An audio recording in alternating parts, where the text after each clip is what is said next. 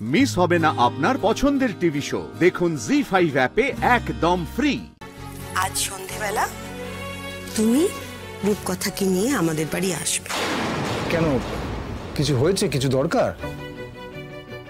সমুজ্জ্বল কোনো দরকার না থাকলে তোকে আমি ডাকতে পারি না তাই তো? হ্যাঁ?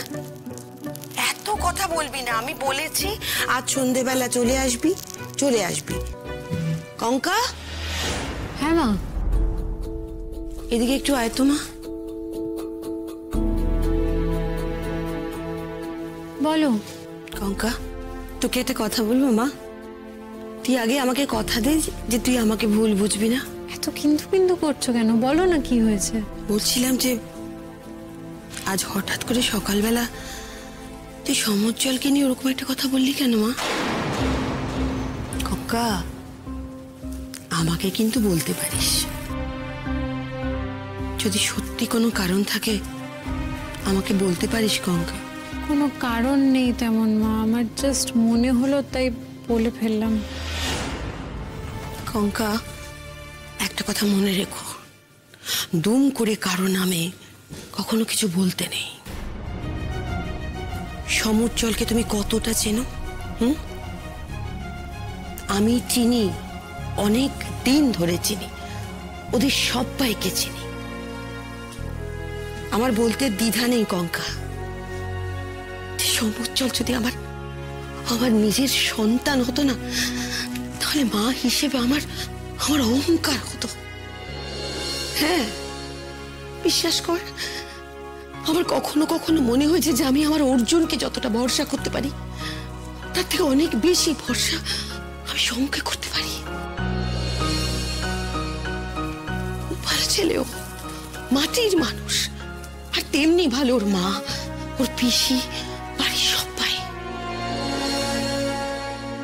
এমন উড়ো কথা দম করে বললে কি হয় জানিস মা? আশপাশের মানুষের মনে সন্দেহ তৈরি হয় যে লোকটা কি সত্যিই খারাপ। আর যদি লোকটা সত্যি খারাপ হয়, তাহলে তুমি জানলে কি করে সেটা? সে তোমার সঙ্গে কি খারাপ করেছে, কঙ্কা?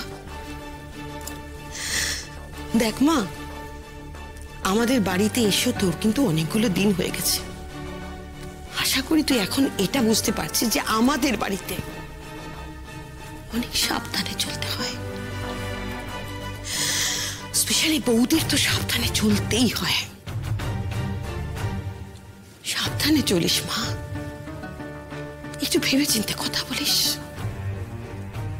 আজ সন্ধেবেলা সমুজ্জ্বল রূপ কথাকে নিয়ে আমাদের বাড়িতে আসবে।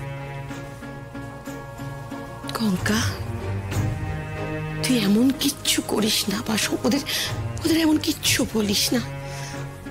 যাতে এই বাড়ির এই বাড়ির বাকি মানুষগুলোর মন ওদের বিরুদ্ধে আরও পিছিয়ে যায়। জানিস তো আমাদের বাড়ির লোকজনগুলো ওদের খুব একটা পছন্দ করে না। তুই ওই আগুনে আর ঘি দিস না, মা। হুম? কেমন? সেই আসবে তুমি। আবার কথাকে নিয়ে। কেন সমুজ্জ্বল ওকে তোমার সঙ্গে দেখলে যে আমার কষ্ট হয়।